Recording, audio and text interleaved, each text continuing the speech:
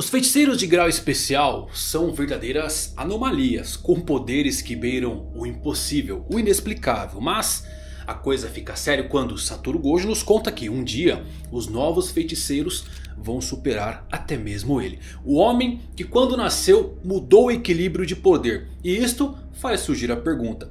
Quem é a próxima geração do mais alto nível de feiticeiros da sociedade Jujutsu? Quer saber tudo sobre isso? Então se liga que eu vou falar nisso agora.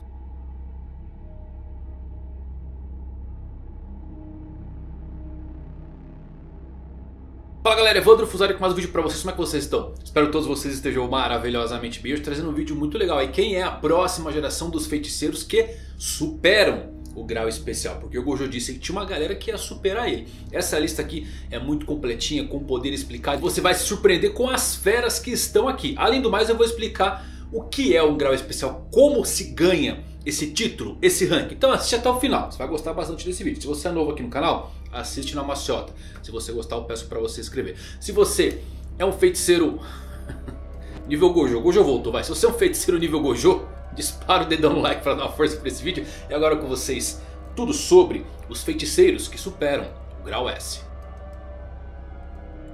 Então vamos lá galera, primeiro de tudo, o que é o grau especial e como se ganha esse título? É um equívoco comum comparar os feiticeiros de grau especial com as maldições, também chamadas de grau especial. Quando falamos aqui das maldições, falamos totalmente do seu poder e durabilidade, conforme essa explicação dita no mangá que se hipoteticamente uma araba pudesse derrubar maldições, uma de grau especial precisaria de um bombardeio para ser derrotada. Já os feiticeiros, o buraco é um pouquinho mais embaixo. Um grau especial é uma classificação reservada para as anomalias dentro da comunidade do Jujutsu. E é reservada para os feiticeiros com uma força tão imensa que seu potencial destrutível é imensurável. Tornando-os aí casos muito exclusivos e únicos. Daí o título especial. Como prova da raridade desses feiticeiros, no ano de 2018 havia apenas 4 feiticeiros registrados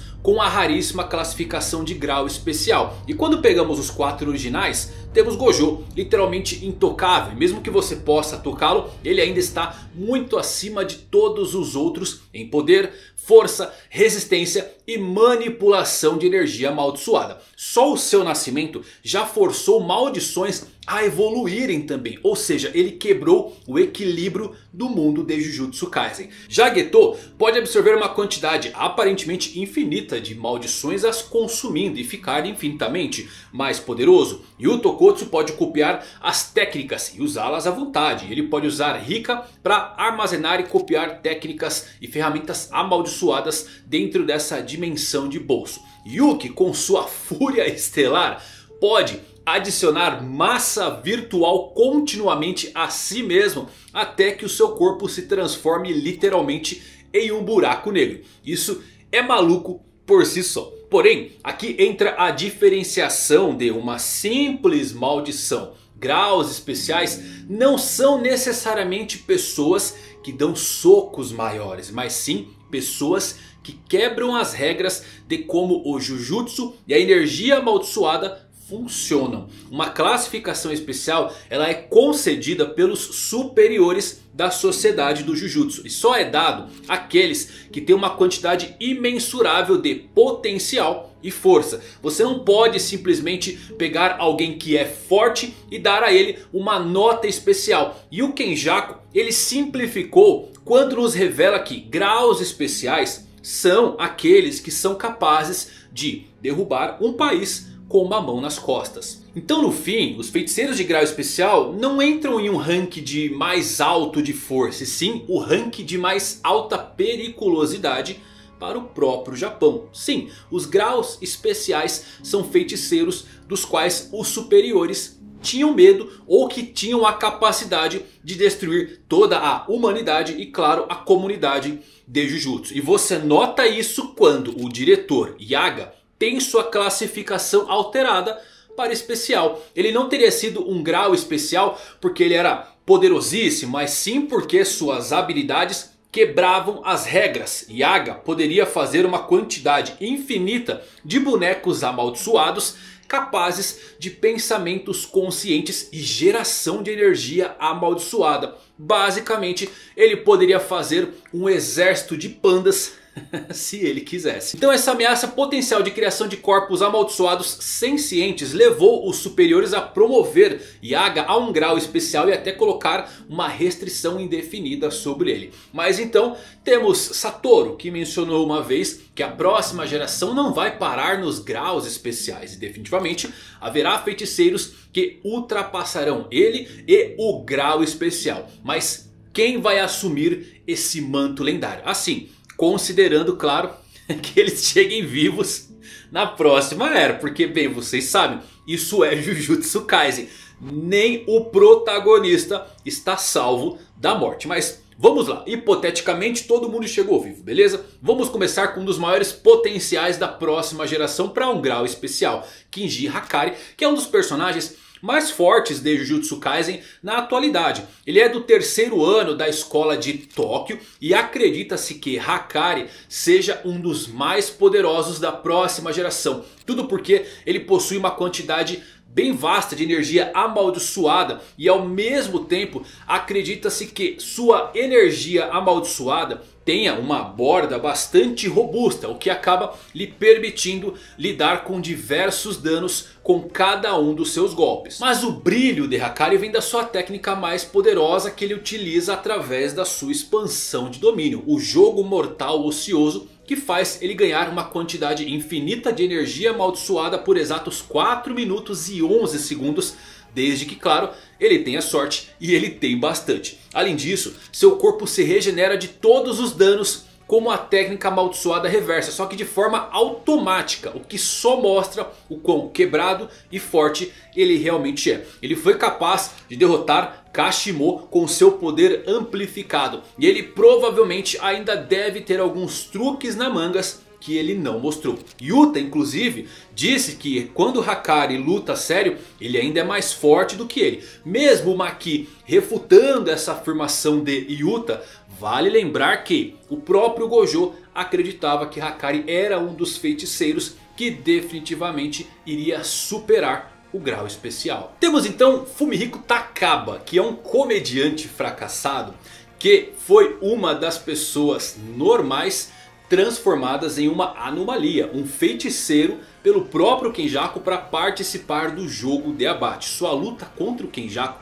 foi uma das melhores de toda a série. E só mostra o seu potencial porque lembrem, Kenjaku tem mais de mil anos e ainda usava o corpo de Geto, um antigo grau especial. Vale mencionar que Kenjaku nesse corpo saiu ileso da luta contra Yuki, outra grau especial que usou seu super buraco negro que deveria ter obliterado Kenjaku. Mas no fim ele caiu foi para a comédia, pois Takaba, ele é um absurdo galera. Quando ele pensa em algo que ele tem certeza que vai ser engraçado, isto se torna realidade. E é confirmado como sendo uma técnica com potencial suficiente para se opor até mesmo a Satoru Gojo. Apesar de não sabermos ainda o desfecho de Takaba, pois ele se deita no chão em trajes de cadáver, agradecendo ao Kenjaku ali pela sua luta. Eu gosto de pensar que essa cena foi apenas algo engraçado, onde ele atingiu a exaustão pelo uso de uma quantidade quase divina de energia amaldiçoada durante a luta contra o Kenjaku. Mas se ele estiver por aí, uma habilidade que altera a realidade certamente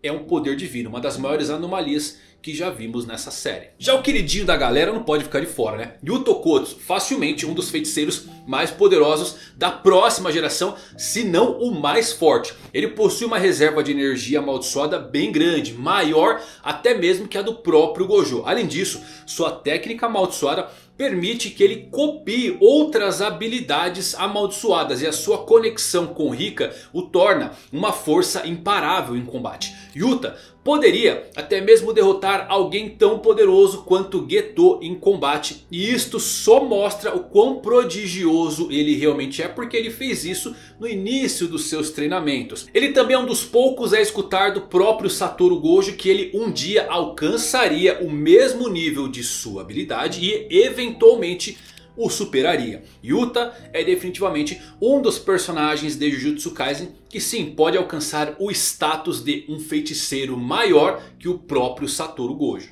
Agora esse aqui ele é realmente surpreendente. O Yui. Sim, é muito engraçado. Porque antes ele era apenas um garotinho que tinha um relacionamento controverso com sua irmã. Mas quando esse moleque começou a revelar os seus poderes, automaticamente ele foi eleito um MVP aqui na luta dos feiticeiros contra o Sukuna. Tudo porque o Yui ainda é muito jovem para ser um feiticeiro profissional e nem na escola de Jujutsu ele pode entrar. No entanto, ele ainda é capaz de lidar com situações perigosas e ser um recurso útil em batalha. Independente da sua idade, o Yui possui um talento para o Jujutsu, comprovado pela sua capacidade de usar a sua técnica inata, bem como criar técnicas de barreiras. Anteriormente, pensávamos que a sua habilidade envolvia apenas o teletransporte de um lugar para o outro, que seria até básico. Mas no auge da luta contra Sukuna, descobrimos que o irmão mais novo de Menbei também pode trocar as almas das pessoas, levando assim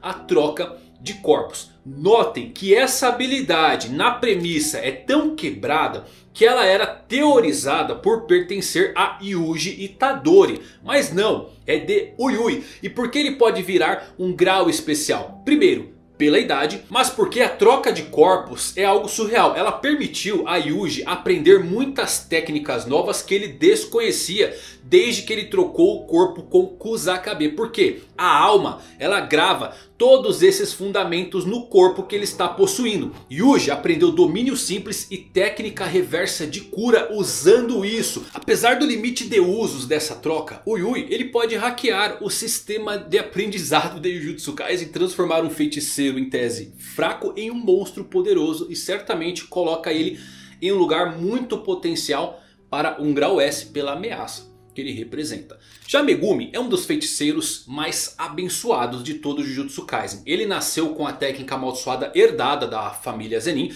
a técnica das 10 sombras. Essa técnica permite aí que ele invoque 10 Shikigamis diferentes usando sombras como intermediárias. O Shikigami mais poderoso que ele pode usar é o lendário General Mahoraga, que é incrivelmente poderoso e ninguém e toda a história da família Zenin já conseguiu domá-lo. Megumi tem bastante potencial e a sua expansão de domínio incompleta também é muito perigosa. Ele possui tanta habilidade que até mesmo o Sukuna acabou se interessando por ele. Além disso, Gojo tinha a certeza absoluta de que Megumi era habilidoso o suficiente para atingir o seu nível um dia. Ele certamente nasceu com um imenso talento e tudo o que ele precisa é se esforçar para superar Gojo. Um dia Megumi pode superar facilmente o nível de feiticeiro de grau especial. E só de pegarmos o fato que no passado as 10 sombras foram de igual para igual contra o ilimitado e os 6 olhos em um empate. E nos tempos atuais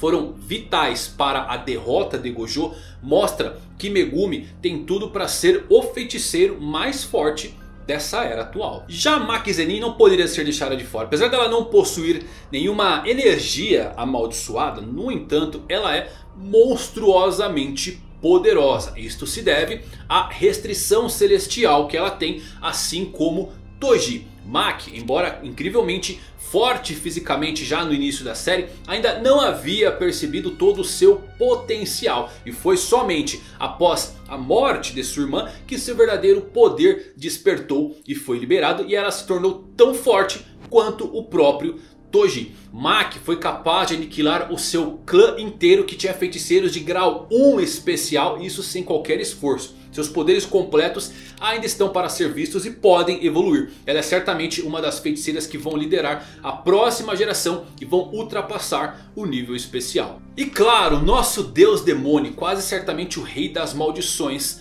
dessa era. Sem dúvidas, Yuji Tadori é um personagem que provavelmente vai ultrapassar o nível de feiticeiro de grau especial também. Ele possui uma quantidade tremenda de potencial dentro de si. Seu uso de energia amaldiçoado é extremamente eficiente e ele tem uma força física incrível. Mais importante, ele aprende rápido. Sua técnica amaldiçoada, o santuário, é apenas um dos muitos movimentos que ele tem agora no seu leque de habilidades. Porque ele também herdou os poderes dos ventres amaldiçoados e o controle de sangue. E claro, é um escolhido pelo Fulgor Negro. Mesmo Gojo se valia da sorte para um acerto. Já Yuji, sua sequência de Black Flashes sem erros já o colocam com um recorde e uma anomalia no mundo de Jujutsu Kaisen. Ele é uma amálgama de tudo que existe na série de Jujutsu Kaisen e por isso Yuji é um monstro. Ainda tem muito espaço para evoluir. Não à toa, Gojo acreditava que um dia poderia atingir o mesmo nível que ele e não há absolutamente nenhuma razão